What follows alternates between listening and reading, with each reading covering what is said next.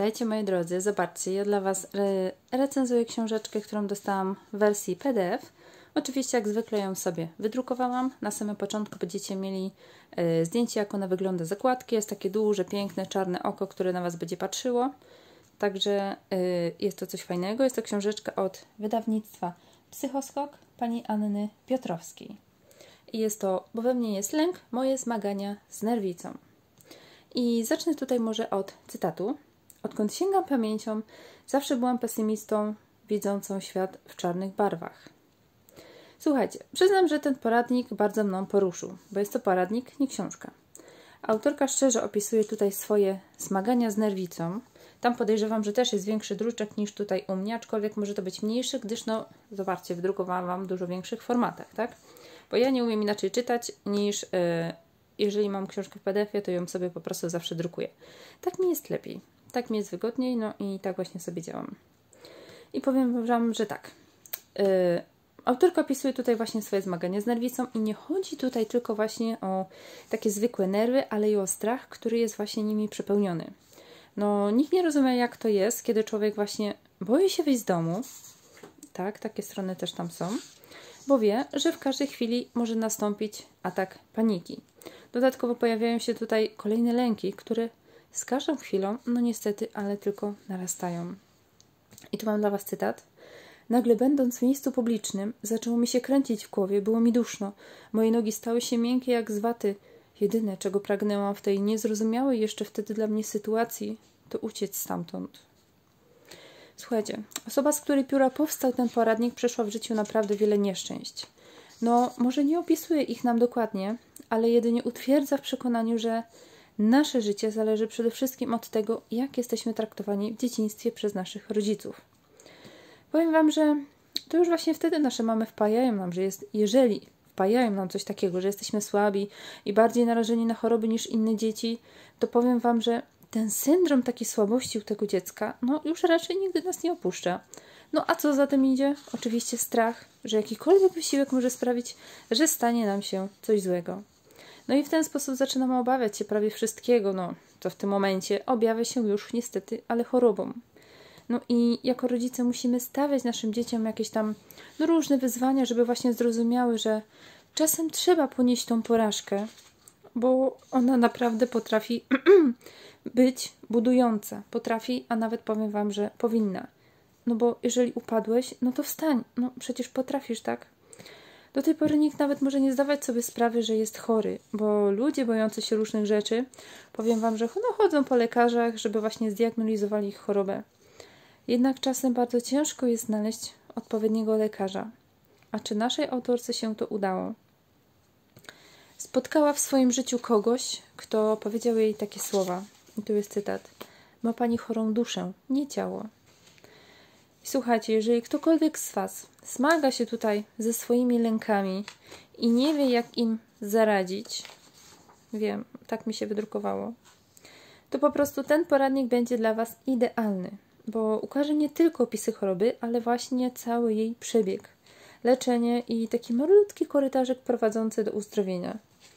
A gdy do niego dojrzecie, doj dojdziecie, na Waszej twarzy pojawi się uśmiech ulgi Chcę Wam pokazać jeszcze jeden. Tutaj mamy rozdział. A, powiem Wam, że to jest naprawdę warty zauważenia poradnik, bo ci ludzie, którzy opisują takie rzeczy z własnej perspektywy, można by powiedzieć, że piszą nam naprawdę samą prawdę, tak jak właśnie ta autorka, bo opisują nam właśnie wszystko to, co oni przeżyli, kto im pomagał, w jaki sposób. Tak, jest tutaj kilka też obrazków. I jak to się w ogóle dla nich skończyło? Jak to no, kto ich przyjmował, jak ich leczył, w jaki sposób. Także jak oni w ogóle odczuwali te choroby, bo powiem Wam, że człowiek nieraz sobie myśli, kurczę, tutaj mnie boli, tam mnie boli, nie wyjdę, jestem chory. Matko, jeżeli wyjdę na dwór, przeziębię się bardziej, będę jeszcze bardziej chory i siedzę w domu zamknięty i tylko myślę, jak mi źle. No to jeżeli ktoś już ma takie objawy, no to w tym momencie jest to choroba, aczkolwiek nie przeziębienie, czy jakaś tam inna grypa. No i powiem Wam, że na to też warto zwracać uwagę, no bo niektórzy faktycznie chodzą po tych lekarzach, szukają jakby choroby, której praktycznie nie ma. A chorobą właśnie może być tylko i wyłącznie ich zraniona dusza. I powiem Wam, że no, autorka naprawdę bardzo dużo przeszła. Yy, troszkę tutaj o sobie opowiada, aczkolwiek nie tak bardzo dokładnie, no bo wiadomo, to jest książka typowo o niej. I jeżeli ktokolwiek z Was zmaga się właśnie z jakimkolwiek lękiem, czy z tym, żeby wyjść tam na przykład do ludzi, żeby z nimi porozmawiać, czy z tym, że boicie się, że jesteście chorzy, ale nikt nie potrafi Wam pomóc, czy z tym, że no, macie jakiekolwiek takie nerwy wewnątrz siebie, że nie wiecie, co macie zrobić, macie tak mocno nerwy, że nie wychodzicie indziej, izoluje, izo, u, izolujecie się od innych ludzi, no to ten poradnik jest naprawdę dla Was. To jest chyba druga książka, jaką czytam w formie poradniku i powiem Wam, że też mnie zaczynają pomału do siebie przekonywać. Bo zawsze sądziłam, że jeżeli już jest poradnik, to mamy wszystko opisane tak, żeby tego nie zrozumieć, tylko mamy buch, buch, buch, konkretne fakty, co i jak, dlaczego i do widzenia. Nie. Tu mamy historię naprawdę prawdziwego życia, wszystko z życia wzięte, to co ona przeżywała, co czuła, jak się nią zajmowali, jak się nią też nie zajmowali.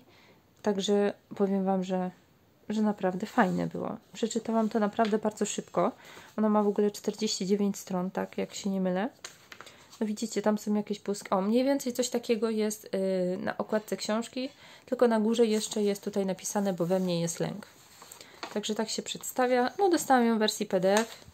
Yy, jej premiera, właśnie, bo nie powiedziałam, jest to recenzja przed, przedpremierowa. I premiera będzie, jak się nie mylę, yy, 7 czerwca. Także no gdzieś za niecałe dwa tygodnie. Więc powiem Wam, że warto na coś takiego czekać, warto się coś takiego dowiedzieć bo nawet wy nie zdajecie sobie sprawy, czy czasami w was nie ma tego lęku. A to oznacza chorobę, z której czasem ciężko po prostu wyjść. I jeżeli to przeczytacie, tak jak ja przeczytałam, bo też mam czasem stany depresyjne, jak na przykład taki, że jestem, no jestem przeziębiona, boję się wyjść, bo już mi też tłumaczą tutaj, o jak wyjdziesz na dół, będziesz jeszcze bardziej chora, nie wychodź.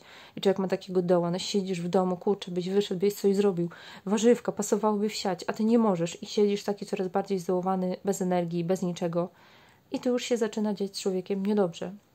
Dlatego bardzo się cieszę, że akurat nawet w tym momencie mogłam przeczytać poradnik, bo naprawdę podniósł mnie na duchu i odebrałam go tak, jakbym jakbym słuchała zwierzeń mojej przyjaciółki. O, właśnie to jest dobre określenie.